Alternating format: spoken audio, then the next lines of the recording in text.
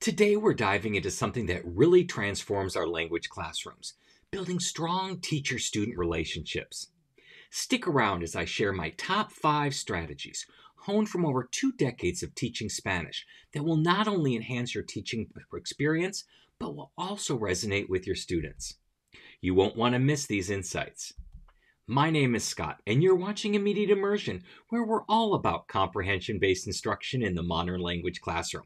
We'll be right back.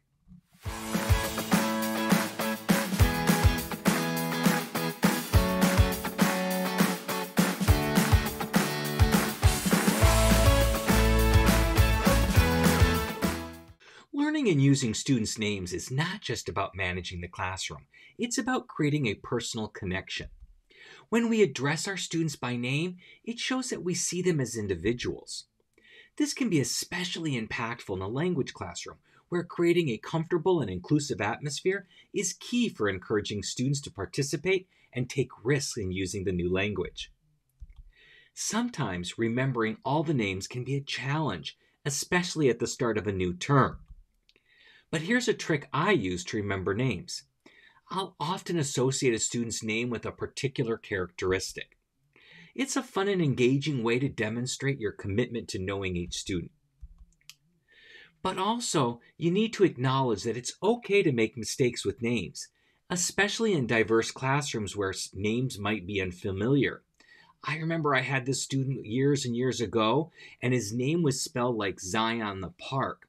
And that's what I called him for like three fourths of the year until finally a student, not even him, told me that it's pronounced Zion. I wish you would have told me so I hadn't made the mistake for so long. But acknowledge that I made the mistake and everything went much better. The important thing is to make an effort and be respectful. If you make a mistake, apologize, correct it, and then move on. It shows students that it's okay to make mistakes in your class, which is a crucial mindset in language learning. You'll also want to discuss how using names correctly and consistently can promote inclusivity. This is particularly important for students from diverse backgrounds where a name might hold cultural significance. Taking the time to learn the correct pronunciation demonstrates respect and can make a big difference in how students feel in your classroom. And using students' names in class is a great way to boost engagement. For instance, when asking questions, using a student's name can make the interaction more direct and personal which might encourage a more thoughtful response.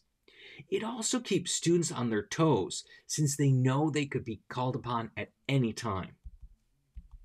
And finally, knowing everyone's name can be help build a classroom community. Encourage students to use each other's names during pair work or group activities. This not only improves the dynamics of the class, but also aids in language acquisition as students practice in a more relaxed and familiar setting. Think about when you share stories from your own life that involve the language. Like the time I told my class about getting lost in Madrid and having to use my Spanish skills to find my way. The students were not only amused by the adventure, but also saw practical application of language skills. It's about making Spanish not just a subject, but a gateway to real life experiences. Organizing events like a Spanish Day can also transform the classroom. I once set up stations, a food corner with tapas, a mini cinema showing Spanish short films, and even a dance area for salsa. The students were immersed in the culture, trying new foods and expressing themselves in the language. It was a celebration of the language that went beyond the regular curriculum. Games can also make learning exciting. Take Spanish Jeopardy, for example. I created categories like Spanish idioms, historical figures, and conjugation conundrums. The students were really engaged, and the friendly competition created an energetic atmosphere. It's a fun way to reinforce language skills and encourage quick thinking in Spanish. And bringing in elements of current events or popular culture can also make the language relevant.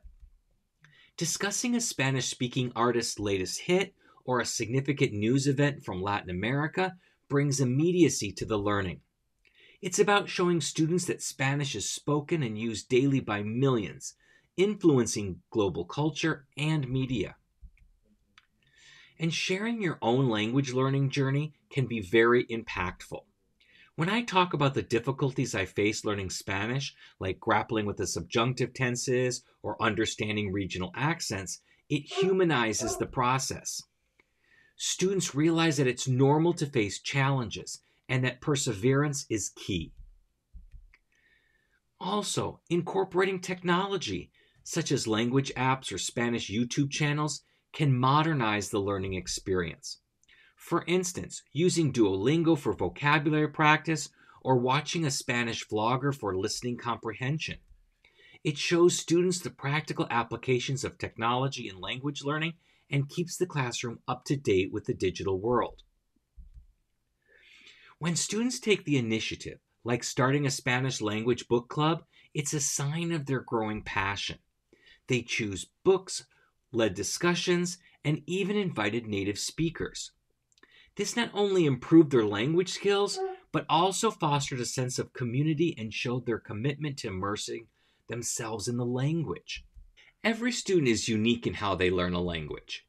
I recall the student who was struggling with speaking. So we spent extra time on speaking exercises and role plays. It's about recognizing and addressing each student's specific needs, which can make a world of difference in their learning journey. I've also found that regular one on one check ins can be really effective. These aren't just about academics, but also understanding their feelings towards the language. Sometimes a student might feel overwhelmed or underconfident. These check ins provide a safe space for them to voice their concerns and for us to find solutions together. Giving feedback that's tailored to each student is so important. Like with writing assignments, I try to provide personalized comments that focus on their specific areas of improvement rather than generic feedback. This helps them understand that I am paying attention to their individual progress. And I'm always trying to be flexible in my teaching methods so that I can cater to different learning styles. Some students respond better to visual aids, while others prefer auditory learning.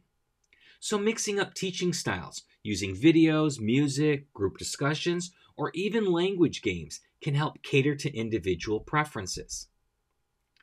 Encouraging students to reflect on their own learning process can be empowering. I ask them to identify areas they feel confident in and areas they need more help with. This self awareness not only aids in their learning, but also helps me understand how I can better support them. I focus on creating opportunities for small successes for each student because nothing breeds success like success.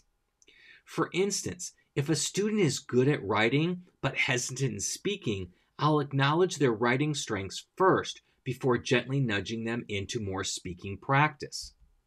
It's about building confidence step by step. I also make it a point to be accessible outside class hours, within reason, of course. Whether it's through email or a learning management system or scheduled office hours, letting students know they can reach out for help anytime makes a big difference in how supported they feel. It's so important to really listen and validate students' feelings. Like this time a student expressed frustration over verb conjugations. Instead of just offering a quick solution, I first acknowledged their struggle, showing that I understood and empathized with their challenge. This validation can really help students feel heard and supported. And active listening isn't just about what we say, it's also about how we present ourselves physically. I try to maintain eye contact, nod, and lean in when students are speaking. It's a nonverbal way of saying, I'm here with you, and what you're saying matters. This can make a huge difference in how comfortable they feel expressing themselves. I find also that asking open ended questions helps in understanding students better. Questions like, How do you feel about your progress in Spanish? Or what part of the language excites you the most? These questions encourage deeper conversation and give students space to share more about their experiences and their perspectives. And to ensure that I'm on the same page, I'll often paraphrase what a student says. For instance, so if you're so you're saying that you find speaking in front of the class nerve-wracking. This not only shows that I'm listening, but also clarifies and reinforces their message, making sure there are no misunderstandings. I'll emphasize to my students that the classroom is a safe space for sharing thoughts and concerns. This was especially evident when a student shared their anxiety about an upcoming oral exam. We discussed it openly in class, which led to a broader conversation about coping with anxiety in language learning. Sometimes all a student needs is for someone to be fully present. This means not just physically, but mentally too. Not planning the next part of the lesson in your head, but really listening. Patience is key, allowing them the time they need to express themselves, even if it takes a little while. While it's tempting to jump in with solutions, I've also learned that sometimes empathy is more important. Like when a student was struggling with the cultural differences in the language use. Instead of immediately offering advice, I shared a story of my own cultural faux pas. It helped them feel less alone and more understood. Now, if you're looking to get started with a solid framework in CI, I highly recommend you start with my free masterclass. Sing Talk Read The Road to Proficiency is a great launching point for a successful CI classroom. You can register free at imim.us slash masterclass. See you there. It's crucial to let students know that you're available for them.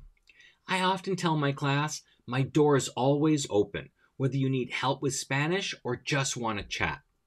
This kind of open invitation encourages students to feel comfortable approaching you. I set aside specific times for one on one meetings, especially before major assessments or projects. It's a chance for students to discuss their progress or any concerns they might have. These scheduled times ensure that each student gets individual attention. Sending out regular check in emails can be really effective. I generally send out a weekly email to all my students. And sometimes I'll even do extra emails so I can drop a message saying, How are you finding the course material? or How did this week go for you? Anything you're struggling with? It's a great way to initiate conversation and let students know you're thinking about their progress. Technology can also be a great tool for maintaining communication, whether it's through a learning management system, class forums, or even an Instagram group chat. Having a digital platform where students can reach out makes communication more accessible and immediate. I also encourage students to communicate with each other sometimes a student may feel more comfortable talking to a peer first. So, creating a buddy system or a peer mentoring can be a great way to foster open communication within the class. Also, after handing back assignments, I often offer to discuss the feedback individually. This gives students a clear understanding of their performance and allows them to ask specific questions in a more private setting. I also try to engage in casual conversations with my students outside of class time. Whether it's a quick chat in the hallway or during lunch, these informal interactions can build trust and make students feel more comfortable in opening up. And when students do come in to talk, it's vital to be a responsive listener. Acknowledging their concerns, asking clarifying questions, and offering genuine supportive support shows that you value their input and are committed to their success. Looking to dive even deeper into comprehension based instruction? You'll want to click on one of these next videos. See you there! Happy comprehensible input.